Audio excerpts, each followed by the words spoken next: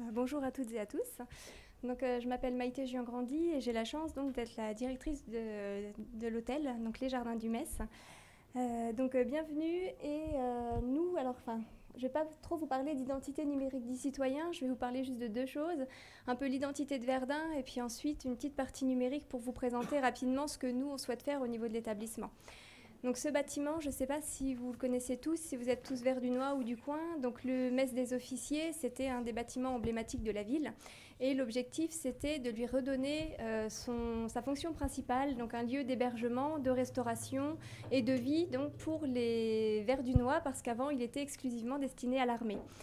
Donc, euh, il y a un pari fou qui a été lancé par la ville et par des entrepreneurs. Donc, euh, le bâtiment a été revendu et entièrement retransformé. Et en même temps, ce qu'on a souhaité par rapport à toute cette transformation, c'était garder vraiment cette identité et faire de ce bâtiment un des, qui est un, pour, enfin, à mon sens, forcément un des plus beaux du centre-ville, et lui donner une identité et en même temps euh, lui redonner vie sans le dénaturer. Donc, là où vous êtes actuellement, la salle de réception, c'est l'ancienne salle de bal. Donc je ne sais pas si certains avaient fait des manifestations ici, des mariages, des anniversaires par exemple. Donc euh, on a essayé au niveau des travaux vraiment d'en faire un, outil euh, de vie locale. Et c'est aussi le parti qui a été pris par les chefs d'entreprise qui l'ont racheté, donc quatre entrepreneurs verdunois. Euh, ils ont dit, voilà, nous on va le faire avec des entreprises locales, d'où la petite gazette. Si vous allez en bas au niveau de l'accueil, vous verrez sur le comptoir, il y a la gazette du Metz. Ça, met quelques, ça présente quelques photos du bâtiment en disant, voilà, telle entreprise a réalisé tel projet, tel projet. Donc c'est 95% du montant qui a été dépensé pour les travaux qui a été attribué à des entreprises locales.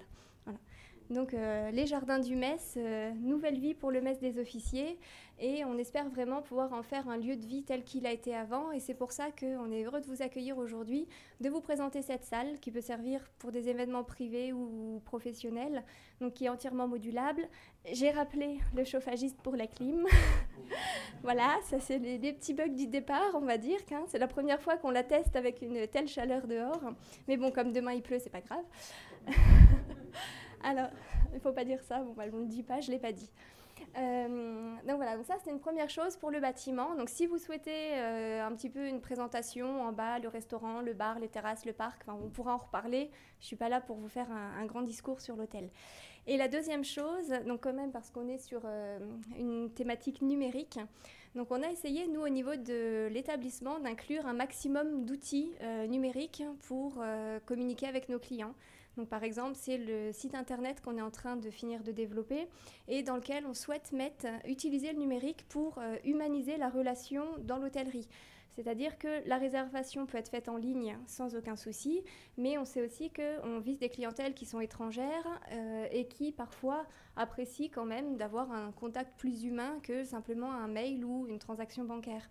Donc on est en train de développer un module qui va permettre aux réceptionnistes d'être en visioconférence avec nos clients quelqu'un qui est à l'autre bout du monde, il peut téléphoner en visio-call et puis voir le réceptionniste pour faire sa réservation comme s'il était sur place.